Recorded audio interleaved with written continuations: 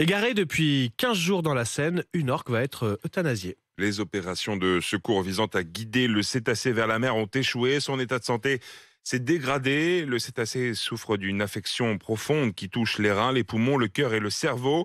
Laima SM Lali, président de l'ONG Sea Shepherd, qui a participé aux opérations de sauvetage, regrette un manque d'anticipation. Quand elle a été aperçue il y a une quinzaine de jours dans l'embouchure euh, au niveau du Havre, elle semblait être, euh, en bonne santé, en tout cas en apparence.